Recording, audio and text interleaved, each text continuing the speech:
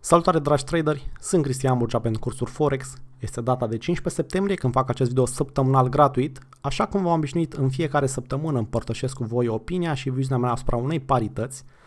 De aceasta a venit momentul să discutăm despre un crossper și anume GPBNZD, pentru că vineri am obținut un daily și un weekly close foarte important peste pragul de 1.93700 și 1.94, practic logic rotund.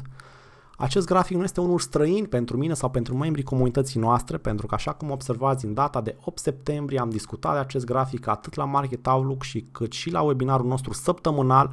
și am specificat că atât timp cât prețul se află peste zona de la 1.90 practic logic rotund și am obținut acest break impulsiv peste 200 moving average și peste această structură,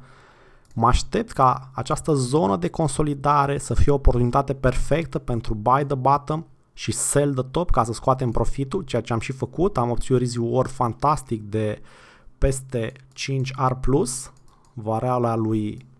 lui R este irelevantă pentru că poate să însemne 5R+, poate să însemne 100 de dolari, poate să însemne 1000 sau poate să însemne 10.000 sau mai mult. Tot timpul discutăm un procent, dacă de exemplu riscai 2%, făceai un profit de 10% și acel risc de 2% trebuie să reprezinte riscul din contul tău. Dacă aveai un cont de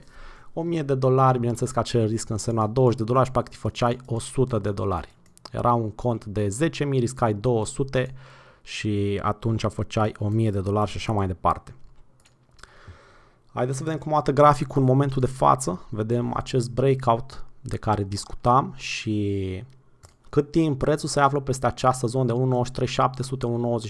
1.93.700-1.94 sunt interesați de schimb poziții long, având ca target final zona la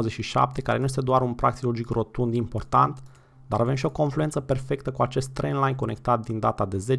10-11 octombrie 2018 de anul trecut.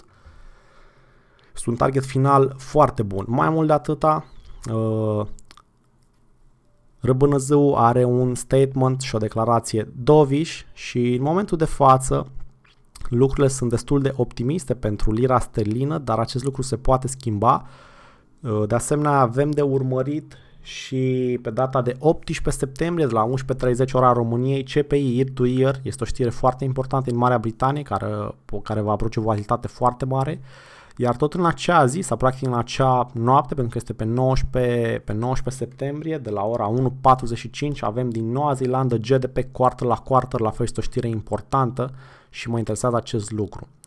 În funcție de cum vor veni aceste știri, este posibil să-mi schimb bias-ul și viziunea, dar în momentul de față, cât timp prețul se află peste această zonă de 1.94, sunt un cumpărător și acesta este bullish line in the sand-ul meu, și nu am de ce să-mi schimb bias-ul și viziunea. Cât timp prețul se află peste această zonă, vreau să fiu un cumpărător, să deschid poziții long cu target final spre 1.97. De asemenea, acest crossper este unul destul de volatil, în concluzie atenție la money management și la riscuri, mai ales că pe swing trading factorul timp este însuși un risc, pentru că cu cât timp stăm mai mult într-o tranzacție, cu atât ne expunem la știle din calendarul economic, evenimente externe, cum ar fi Brexit-ul, cum ar fi anunțurile lui Trump, cum ar fi războiul comercial dintre China și Statele Unite, care afectează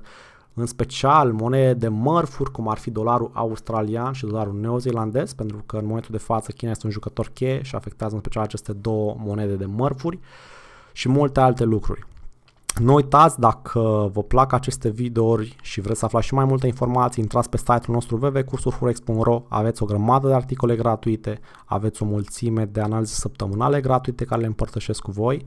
și dacă tot avem vorba de aceste analize săptămânale, țin să precizez încă o dată că tradingul implică riscuri, iar ceea ce împărtășesc cu voi nu sunt nici de cum sfaturi de tranzacționare, este pur și simplu opinia și viziunea mea asupra unei piețe pe grafice de swing trading, care vă reamintesc că swing trading reprezintă doar o mică parte din ceea ce facem noi, pentru că este tranzacții de swing trading, specularea știrilor din calendarul economic, tranzacții de London